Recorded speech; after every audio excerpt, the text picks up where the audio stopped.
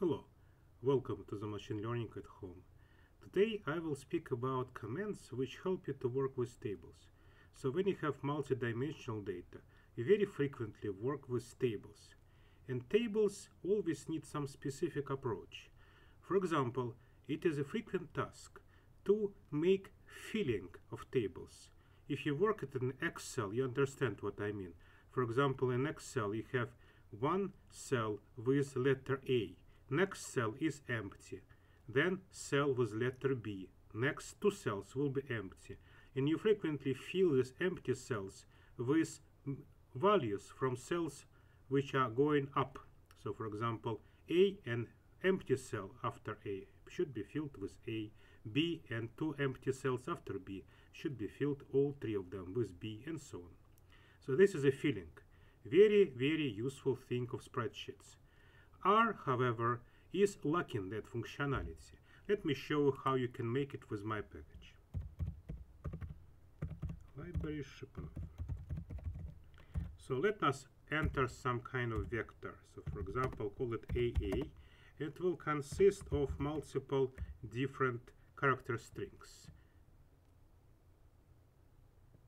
So for example, eight character strings. One, two, three, four, five, six, seven, eight character strings.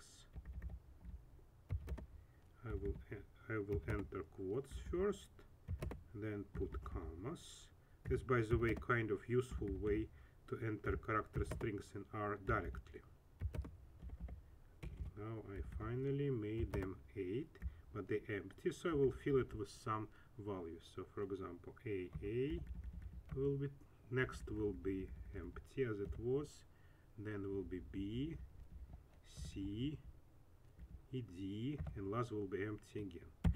So this each thing in between quotes is kind of cell of the spreadsheet. So I want to fill empty cells from left to right. So A A and that cell must be A. B and that cell must be B. C D and last cell must be D. So this is filling so for that reason, I made a command fill. Fill AA.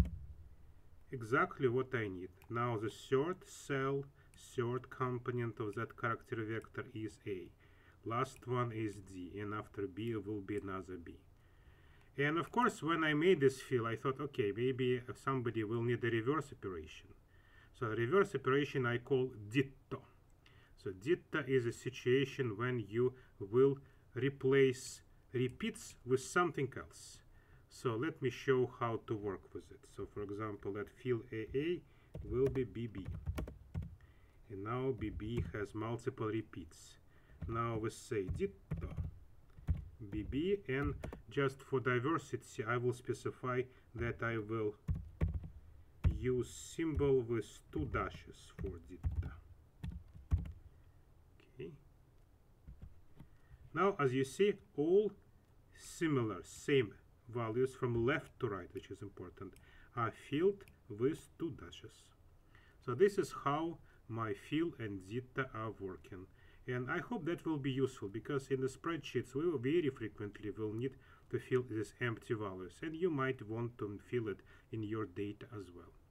Now another thing which is extremely helpful with working with tables uh, in R selection of columns is a bit complicated. Some people hate it and even invented very well complicated ways to avoid it. So let me show you how to select from iris data, for example. So we will need, for example, to select all columns except species.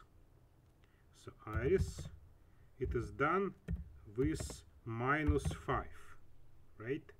But what people are well always don't like that this is select with minus pieces is not possible.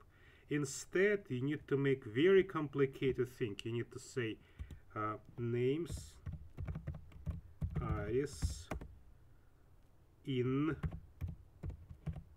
species and then negate it like all names from iris which are not equal to species and only that will be your negative selection by name So there is nothing shorter than that, unfortunately.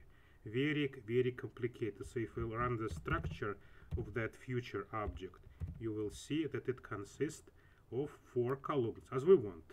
But this thing include exclamation mark, parentheses, person signs, quotes, lots of different stuff. So I developed it kind of uh, negation or subtraction, if you like, of character string. So let me show how it works in a simple way. For example, we have apples and bananas. Apples and bananas. And I want to subtract from that character string, for example, apples.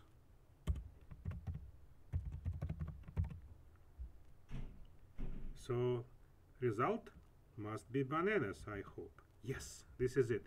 So in basic R, it is impossible. I made this command with 2% size and minus in between exactly for taking something out of character string. What is good about this command, it works also for tables. You make this thing simpler, not very simple, but much simpler than it is in basic R. So let me show how it works.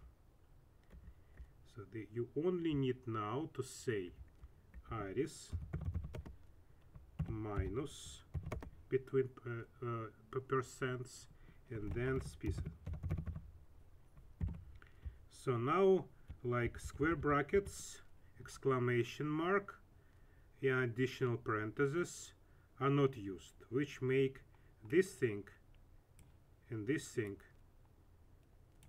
much more simple. So let me show how it works. Result must be the same. Nope, because I forgot the last square bracket.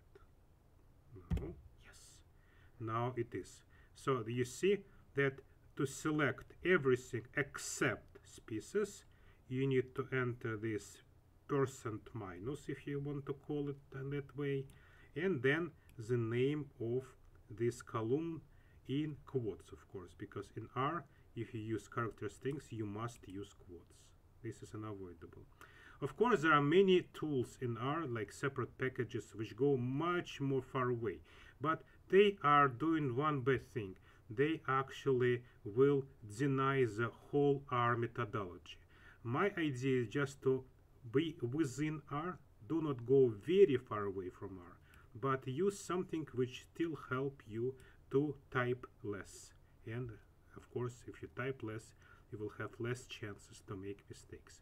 So these are three tools which make work with tables a bit easier.